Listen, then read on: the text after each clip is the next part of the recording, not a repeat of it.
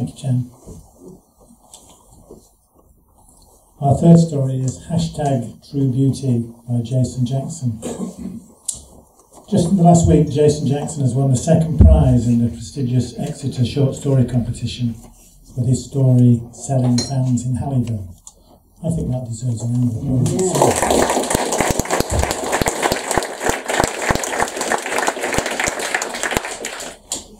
Jason lives in Kingswood in South Gloucestershire. His work has been performed in Bristol and London and New York and Hong Kong, but not in Munich. Not only has Jason never read at Stroud short stories before, he's never actually been to Stroud before this evening. Uh, but he's here now? Yes, he is. So please welcome Jason Jackson to read hashtag. hashtag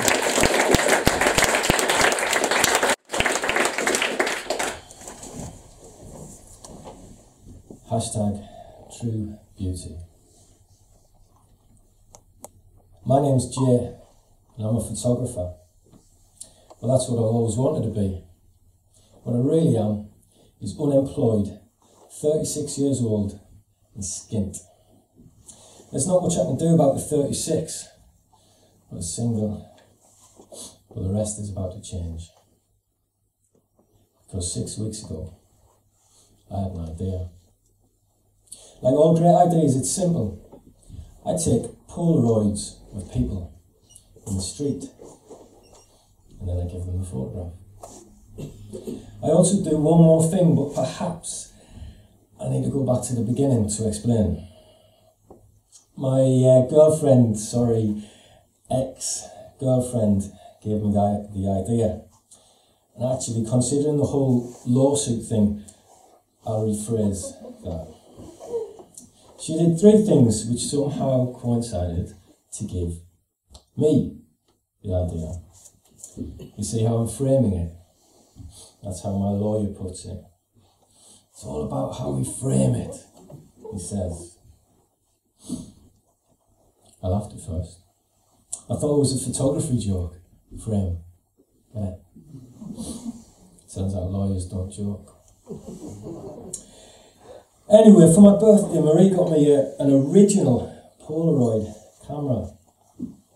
I had one when I was younger and I loved the thing, but I threw it in the sea one night in my mid 20s when the impossibility of making it as a photographer was hitting home. I had other cameras by then, but letting the waves take it was uh, symbolic. The next day, I enrolled on a teacher training course and I didn't take another photograph for 10 years. So this new Polaroid camera was such a cool present because Marie had been there when the original had hit the water. Childhood sweetheart, you see. Ah. What made it even better was the note she'd attached to the present. Back in the game. You see, I'd resigned from teaching. I was going back to photography. And this time, no one was going to throw anything into the sea. I've been telling myself that I wasn't 36. I was only 36. See I framed that? And that I had the rest of my life in front of me. I'd already chatted to Marie's brother, a web designer, about some ideas for the site that I was going to name. Wedding photography. Now, it's not exactly William Eggleston, but I'll tell you what else it isn't. It isn't year 11 on a wet Wednesday in February, and it isn't break duty, and it isn't marking essays till midnight. Anyway, it was all about keeping the money coming in. What I was really going to do was street photography. I blagged some gallery space through a contact from uni days, and I was going to have an exhibition. I was going to sell some prints. And of course, I was going to get a contract to shoot for a magazine, Vice, or maybe something bigger. All I needed to do was take some pictures. I got myself a camera on a credit card, of course, but the Polaroid was a cool present. I really was back in the game. The night I had my big idea, Marie was getting dressed to go out. She was telling me something she'd heard about at work a bloke going round drawing pictures surreptitiously of people on a tube. He only let the person know they'd been sketched when he handed them the drawing as he jumped off the train, and by all accounts, they were brilliant.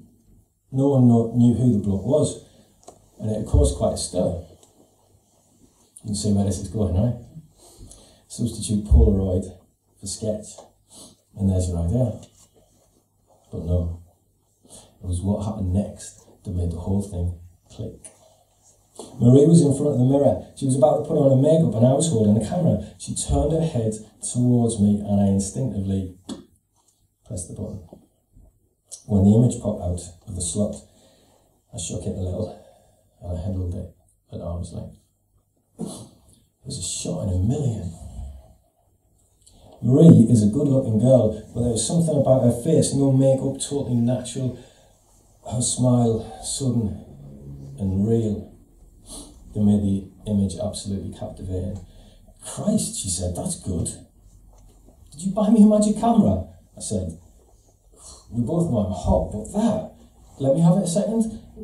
She passed me the photograph, and I took a pen from the bedside cabinet, and in the white strip underneath the image, I wrote hashtag true beauty, and I handed it back. She laughed. Well, it's a damn sight better than hashtag selfie, she said.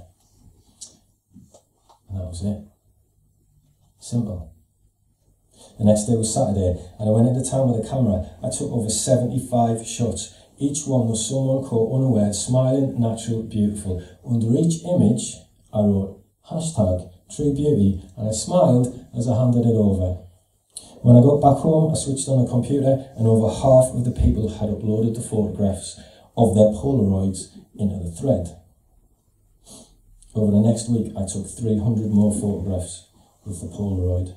I went out in the morning, in the evening, I checked online and, uh, every night, and by the end of the week, hashtag True Beauty was trending on social media. It was the anonymity that did it.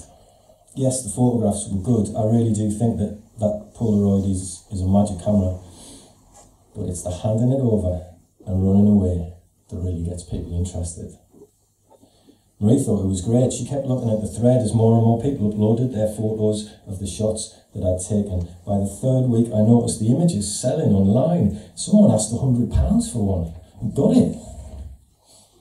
So I started playing around a little. It's amazing what a different colour pen can do. Images with hashtag true beauty written in blue instead of black suddenly became collector's items. And a tenner did one morning in red. Someone put one on eBay, four figure sum. One evening, Marie was opening a bottle of wine and she said, How come all of these people are making money out of our photographs and you just keep giving them away? now, there were two things which concerned me about what she said. Mainly, it was a poor business sense. She didn't realise that the photographs were only worth that amount of money precisely because I was giving them away. And as long as I kept giving them away, feeding but not saturating the market, then the price would keep going up. When I did choose to reveal myself, then I'd be in the optimum position to cash in. So yes, a bad business sense, certainly. But what was much worse was a pronoun usage. They're not our photos, I said. I take them, not you. But I bought you the camera. I give you the hashtag idea. Uh, yes to the camera. No, no, no, to give me the idea. I said. I'm going to draw a veil over the rest of the conversation. Suffice to say, we didn't get a drink of wine.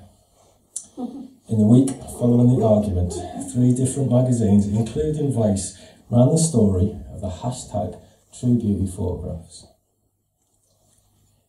There was a half hour local news special, mainly interviews with the subjects of the photos, some talking heads banging on about this new development in what they called street portraiture. Suddenly it looked like there might actually be some money in hashtag True Beauty after all. It's strange how in relationships you always think the time spent together is like a flood defence for when the rains come.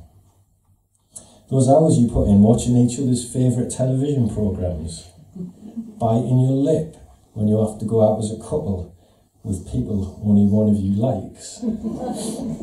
it's insurance to get you through the bad times, right? Well, not when there's money at stake. I told her I didn't care about the money. I cared about my intellectual property. She said I was a liar, and if I wasn't a liar, I was pretentious and an idiot as well. Those flood defences got breached pretty quickly. And now there's a lawsuit.